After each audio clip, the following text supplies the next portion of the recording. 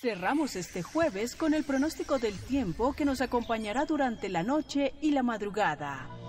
El tiempo nublado previsto en el norte podría favorecer la aparición de lluvias en Cesar, Magdalena, Atlántico, Bolívar, Sucre y Córdoba.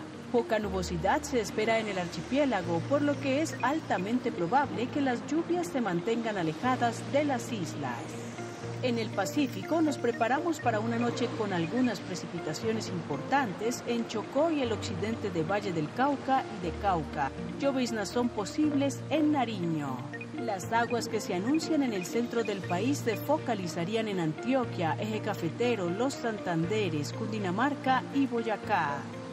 La Orinoquía promete nubes parciales y lluvias de carácter ligero en los departamentos de Arauca, Meta y Vichada. La región amazónica se despide de este jueves con posibles precipitaciones en Caquetá, Baupés, Guaviare y Guainía.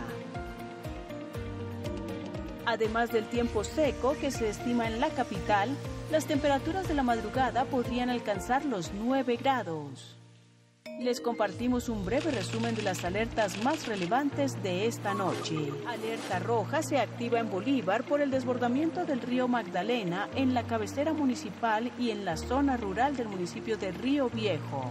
Atención a los incendios que se podrían activar en La Guajira, Nariño, Valle del Cauca, Cauca, Los Andes, Meta, Casanare y Caquetá. Máxima alerta por posibles deslizamientos en Bolívar, Magdalena, Córdoba, Chocó, Boyacá, Antioquia, norte de Santander, Arauca y Caquetá. Persiste la alerta naranja por tiempo lluvioso en el centro y norte del Pacífico y en el Golfo de Urabá. Síguenos en nuestras redes sociales.